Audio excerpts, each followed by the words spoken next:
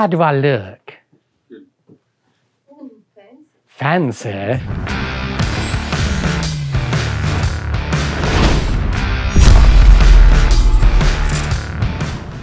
Hey, it's Professor Jaq. Welcome to Generation Geek.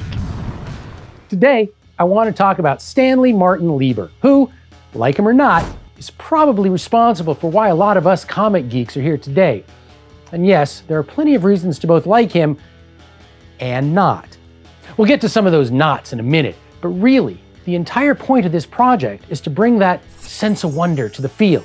So while there are negatives to the career of Stanley Martin Lieber, we're going to focus on the positives, let you know why you should pay attention to him and what he brought to the world of comics and superheroes. Thing is, he didn't even want to be a comic book writer to start with. He did, however, want to be a writer. Born in 1922, Lieber had a typical lower income childhood. His father was born in Romania but had emigrated to the US as a child himself. Trained as a dress cutter, the Depression hit Jack Lieber hard. By the time young Stanley was 10, he had gained a younger brother, Larry, and as he says, a hell of a work ethic. Watching his father struggling to find work and his parents constantly arguing about money, Stanley learned that making sure you had a steady job and worked hard to keep it was the most important thing. The other thing Stanley had was a love of reading and a mother who doted on him. She encouraged everything he did, even loving just watching him read. So he read, and he worked hard, skipping grades at school, and even picking up the few odd jobs as a writer. Fate intervened when Martin Goodman, who was a magazine and comic book publisher, and also happened to be married to Stanley's cousin, arranged for the then 19 year old to get a job working with Joe Simon and Jack Kirby, the guys who created Captain America, as a runner and general office boy. It was a match made in. Okay, it wasn't a match made anywhere. According to reports by everyone but Lieber, Lieber was enthusiastic, immature, slightly obnoxious, playing his ocarina in the office and.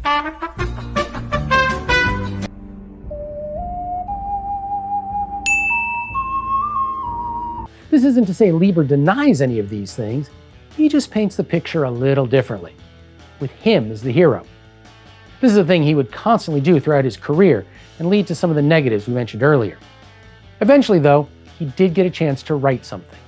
See, back in the day, all those comic books needed some straight text stories without pictures to qualify for magazine rate postage. So someone had to write these stories. And in Captain America number three, that someone was Stanley Martin Lieber. Of course, since Lieber was sure he was destined to be a great novelist one day, he didn't want to waste his name on some silly comic book. So when the story was published, the byline didn't read Stanley Martin Lieber. Instead, Captain America Foils the Traitor's Revenge was written by Stan Lee. And a legend was, okay, he wasn't a legend yet, but at least the name rolled off the tongue a little better. Stan Lee started actually writing the comics themselves with a story in Captain America number 5. And then, when Joe Simon and Jack Kirby left, Goodman turned to 19 year old Stan Lee to take over as editor. Sure, being in the right place at the right time certainly helped. Of course, with the Second World War raging in Europe, the boys back home needed to do their part too. So Stan enlisted and went into the Army, assigned to the training film division. There, he worked with all sorts of future literary luminaries, including Charles Addams and Dr. Seuss, and later in his Army career was responsible for a health safety poster. VD, not me. As he himself explains it, they must have printed a hundred trillion of those things. So, in my own humble way, I think I probably won the war single handedly because if that stopped them from getting ill, then they were all ready and set to fight. And that's the untold story of how we won the war. Thing is, while he's joking here, that kind of hyperbole of taking credit for everything is part of a pattern which would cause problems for him his entire life. When the war ended, Stan went back to the comic book company, which had many names, but we can just call it Marvel for simplicity's sake. And then, just shy of his 25th birthday, met his future wife, Joan Boocock, an English model. Like his mother, Joan proved to be an ardent supporter of Stan, filling him with confidence he might not otherwise have had. This becomes important later. Because also, after the war, the superhero game dried up. Sure, Superman and Batman and Wonder Woman are all still around, but they're characters from the competition, so we're not going to spend any time talking about them. Instead, Stan, under orders from Martin Goodman, is trying to keep comics at Marvel alive almost single handedly. Goodman was a follower, so when another comic company tried romance comics, he had Stan create romance comics. Westerns and horror and teenager and whatever else was selling. So when that other comic company started bringing superheroes back in 1956, and then created a new team of heroes called the Justice League, and their books were selling well, Goodman decided Marvel should try it too. He told Stan, who by this point was pretty much the only staff employee left at Marvel, to create a superhero group. And here's where the real controversy of what Stan Lee brought to the world of comics starts. Tasked with creating a new superhero group, Stan is tired. He's almost 40. He's been doing this relatively thankless job his entire adult life and still hasn't gotten around to writing that Stanley Lieber novel. Learning from his own father, he's worked hard and steady, but maybe now is the time to quit and go on to something else. Joan encourages him and says, Why don't you do what you want to do? Create the characters you want to create. Since you're going to leave anyway, what have you got to lose? Stan agrees, calls Jack Kirby back in. Remember Jack? He's the co creator of Captain America. And the two develop the Fantastic Four, launching the Marvel Age of Comics. These were the characters Stan had wanted to create, aimed not at seven year olds, but at teenagers and college students. These were characters who had personalities and personal problems, faced social issues and infighting.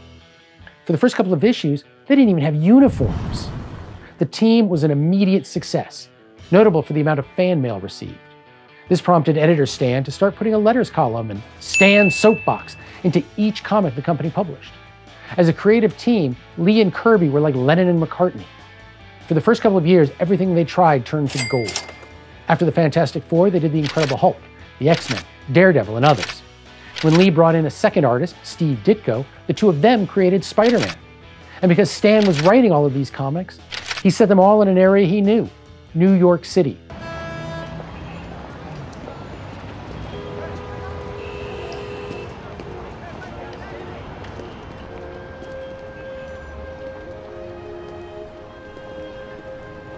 You know, I guess one person can make a difference.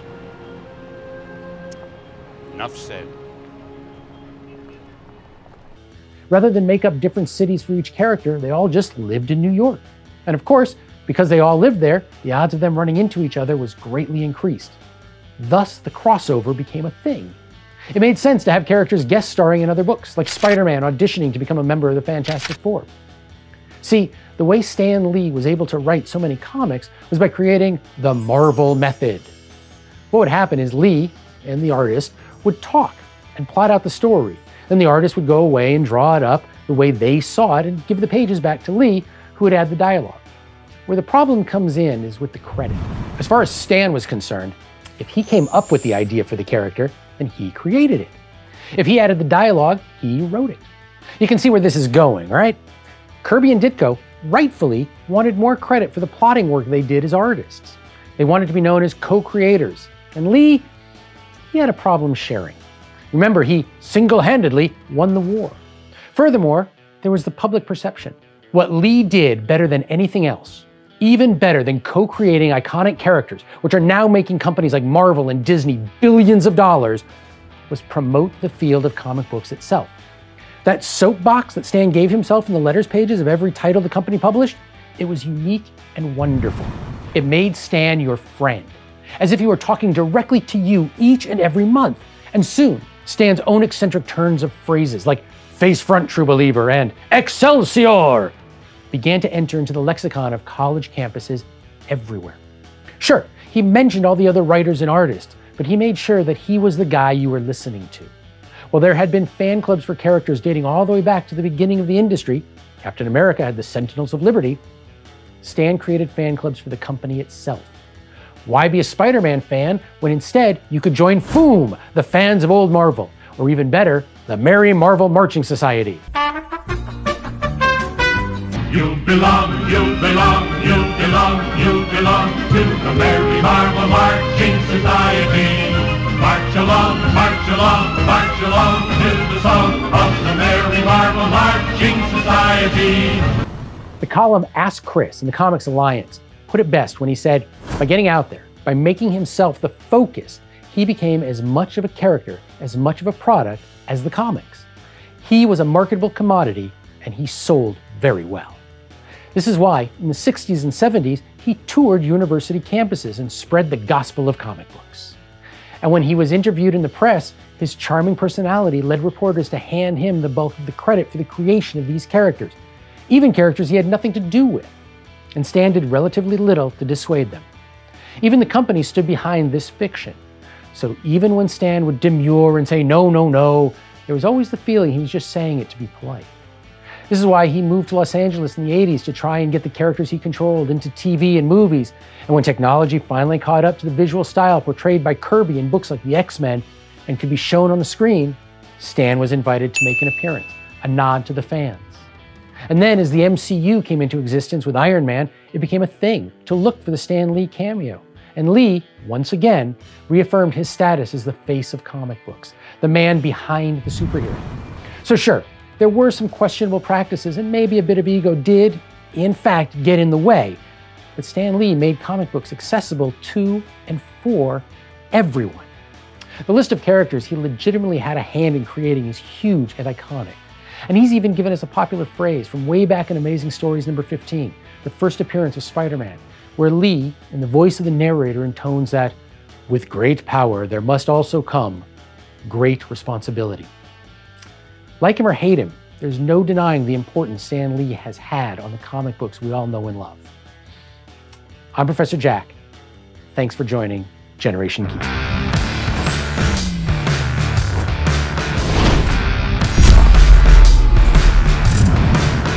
If you like what you just saw, remember to hit the subscribe button and click for notifications so that you'll know every time Generation Geek has a new video out.